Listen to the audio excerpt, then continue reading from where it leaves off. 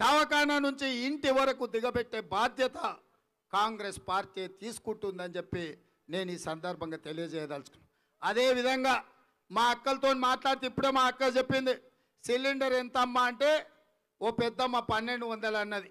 ఎంబడే వెనకాల నుంచి ఇంకో అక్క చెప్పింది నాయన యాభై పెరిగింది ఇవాళ పన్నెండు వందల యాభై అయ్యిందని చెప్పింది. పేదోళ్ళు ఎట్లా బతకాలి?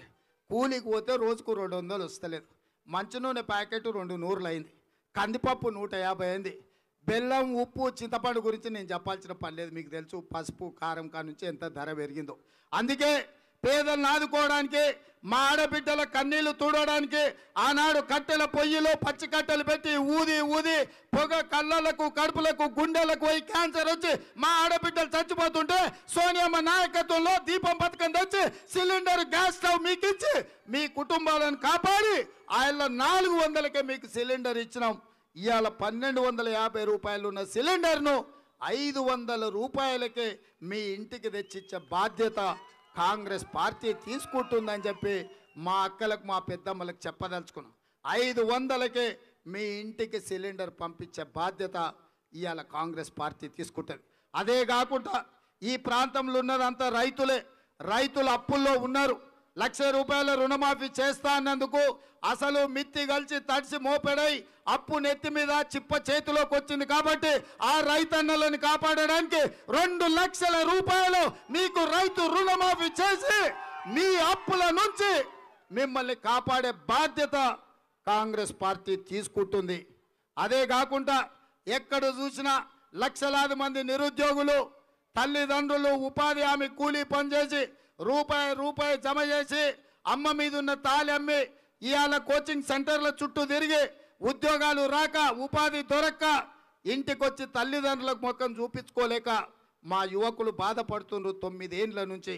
అందుకే నిరుద్యోగ యువకులారా రోజులు లెక్క పెట్టండి. పది నెలల కాంగ్రెస్ ప్రభుత్వం వస్తుంది. ప్రభుత్వంలో ఉన్న రెండు లక్షల ఉద్యోగ ఖాళీలను సంవత్సరం లోపల నోటిఫికేషన్లు ఇచ్చి భర్తీ చేసి రెండు లక్షల ఖాళీలను భర్తీ చేసే బాధ్యత కాంగ్రెస్ పార్టీ తీసుకుంటుందని చెప్పి నేను ఈ సందర్భంగా తెలియజెప్పదలుచుకున్న మిత్రులారా. మిత్రులారా ఐదు లక్షల రూపాయలు ఇందిరమ్మ ఇండ్లకు ఇవ్వాలన్నా ఐదు లక్షల రూపాయల ఆరోగ్యశ్రీ పథకంలో అమలు చెయ్యాలన్నా ఐదు వందల రూపాయలకే మీకు సిలిండర్ ఇవ్వాలన్నా రెండు లక్షల రూపాయల రైతు రుణమాఫీ చెయ్యాలన్నా రెండు లక్షల ప్రభుత్వ కొలువుల ఖాళీలను భర్తీ చేసి నిరుద్యోగ యువకులకు ఉద్యోగాలు ఇవ్వాలన్నా ఇందిరమ్మ రాజ్యం రావాలి ఇందిరమ్మ రాజ్యం తేవాలి.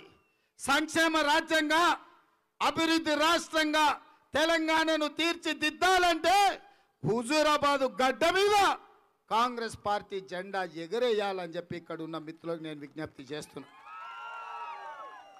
ఆరు సార్లు టిఆర్ఎస్ గెలిపించిండ్రు.